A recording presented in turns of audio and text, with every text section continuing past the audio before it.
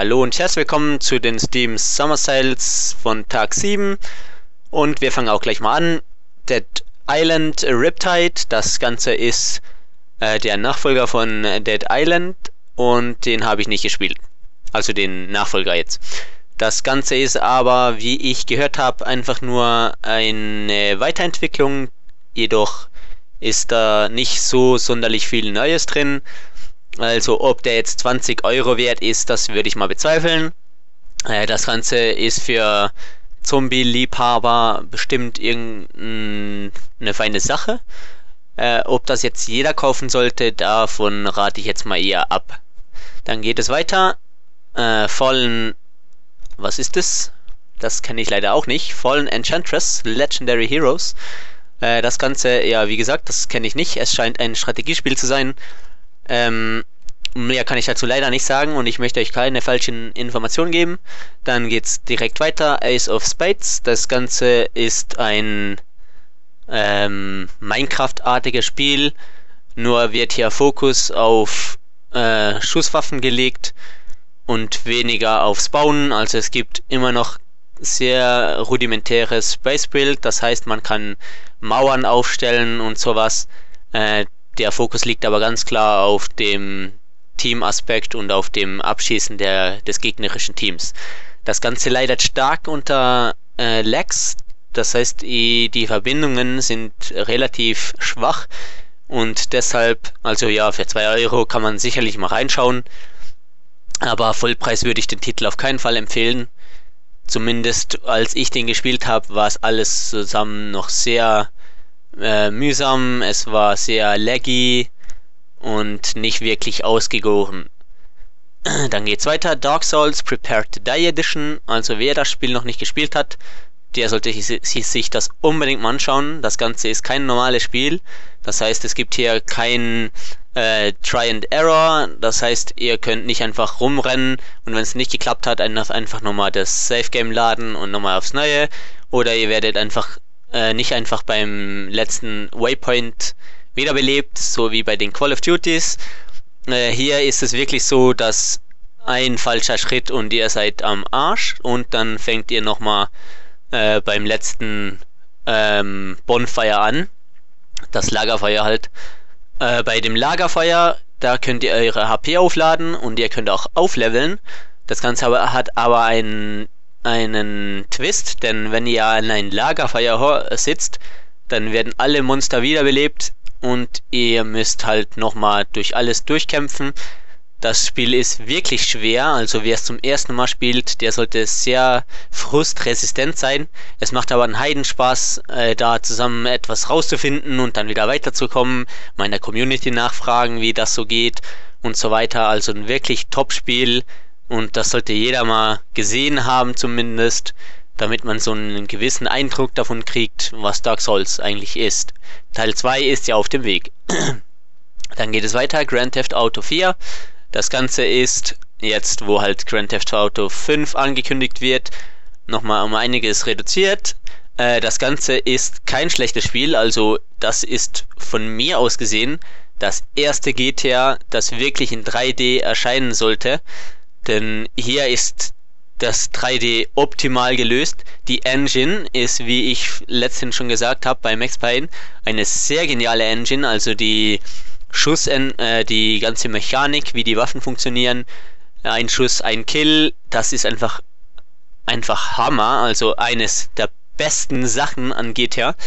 Dann gibt's halt ein riesen Level, das ihr erforschen könnt mit extrem viel versteckten Sachen es gibt einen Online-Modus, wo ihr mit anderen spielen könnt. Das Ganze kann auch auf Servern sein, die gemoddet sind. Das heißt, dann wird da nur rumgefahren oder es hat Strecken, die man auf denen man Rennen fährt und so weiter. Also es ist ein extrem großes Spiel. Es hat ein starkes Modding, also wer Grand Theft Auto 4 noch nicht gespielt hat, der sollte sich das unbedingt mal anschauen. Und wer schon lange nicht mehr gespielt hat, der sollte sich auch mal wieder reintrauen. Äh, vielleicht mal mit ein paar Mods, vielleicht mal einen Enhancer Mode draufpacken und dann ist die Grafik wieder noch härter als die aktuellsten Spiele. Das Spiel wird einfach nicht alt, wie ich finde. und äh, wer noch die Zeit vertreiben muss, bis Teil 5 rauskommt, sollte sich in Teil 4 noch genügend beschäftigen können. Dann Mountain Blade with Fire and Sword, das Ganze habe ich nicht gespielt. Ähm, man spielt darin, also es ist ein Action-RPG-Spiel, man spielt darin einen Ritter oder man ist dann auch zu Fuß unterwegs und kämpft dann gegen andere Heere. Ähm, viel mehr kann ich dazu leider nicht sagen. Ich habe es wirklich nicht gespielt und ich möchte auch nicht mutmaßen. Dann geht's weiter. Batman Arkham City. Äh, das Ganze in der Game of the Year Edition. Ähm, ja, viele sagen, Batman Arkham City ist das bessere Spiel. Ich fand aber den alten Teil, also Batman Arkham Asylum, fand ich etwas besser als Arkham City. Das Ganze soll aber nicht schlecht sein, dass die zwei Spiele sind wirklich extrem gute Spiele. Ähm, wer sich aber Batman Arkham City mal anschauen möchte, der kann das tun und sollte danach mal Arkham Asylum anspielen zum Schauen, was ich denn darin jetzt besser gefunden habe. Oder wenn ihr halt noch Zeit vertreiben möchtet, äh, ich bin mir sicher, Arkham Asylum gibt es noch günstiger als 7,50 Euro. Im Prinzip ist es das quasi gleiche Spielerlebnis. In Arkham City ist dann einfach eine zusammenhängende Stadt, äh, die man frei begehen kann. Dann Tropic of Fear, das Ganze ist ein Ableger äh, in der Art von Arno oder Sims, äh, sorry, SimCity. Das Ganze ist ein anscheinend wirklich gutes Spiel, also ich sage anscheinend auch, weil ich es nicht gespielt habe. Äh, das Ganze wurde aber zu Zeiten, wo SimCity rauskam, jetzt von allen hochgepriesen, weil Tropico 4 ein wirklich anscheinend sehr gutes Spiel sein soll. Für 6 Euro könnte man durchaus mal einen Blick reinwerfen, wenn man die Zeit dazu findet. Ähm, wer ein SimCity erwartet, der liegt hier wohl am richtigsten. Dann geht es weiter, Evoland. Äh, das Ganze ist ein Indie-Spiel, wenn ich mich nicht täusche. Das Ganze durchlebt die verschiedenen Epochen des Gaming. Das heißt, ihr startet als 2D-Figur, äh, schwarz-weiß, geht dann über in, in die Color-Version, also wo es dann farbig wurde und danach geht es dann weiter in 3D. Das Ganze ist ein Erlebnis, das so aufeinander aufbaut. Ähm, wie gut das ist, kann ich auch nicht beurteilen. Dann geht es weiter, Deus Ex Human Revolution, das Ganze für 85% abgeschrieben, das heißt 2,84 Euro.